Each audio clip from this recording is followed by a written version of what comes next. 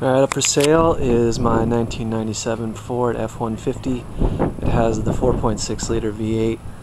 Um, third door, the only mods it has are uh, Flowmaster 3 chamber exhaust, 3 inch, a tonneau cover, and an aftermarket CD MP3 player. Um, it's almost perfect, the entire truck. Uh, 126,000 miles, but I bought it from the original owner fully maintained. The paint and the interior are both 9.5 plus out of 10.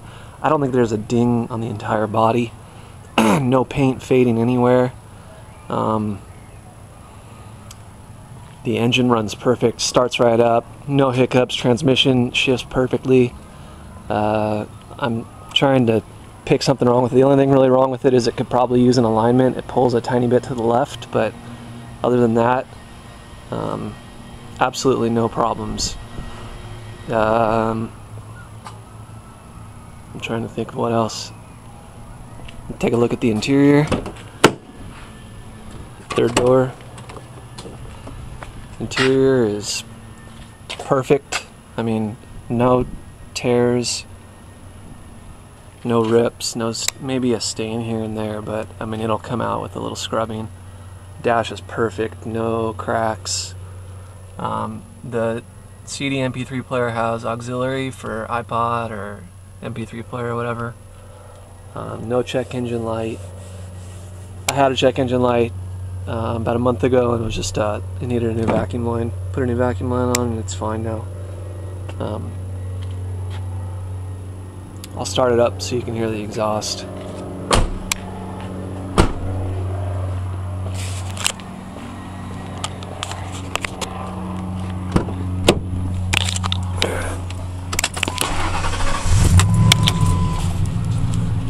126, 400. How real is it?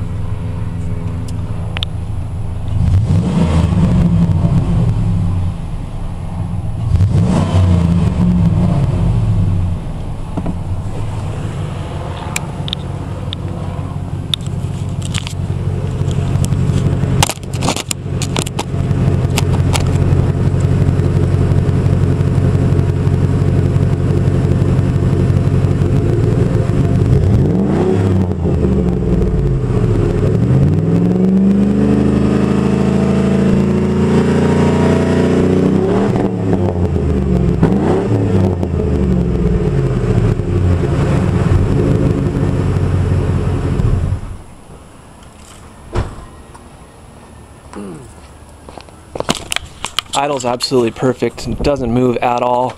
The truck needs nothing. Um, and that's it. Give me a call if you're interested. Thanks.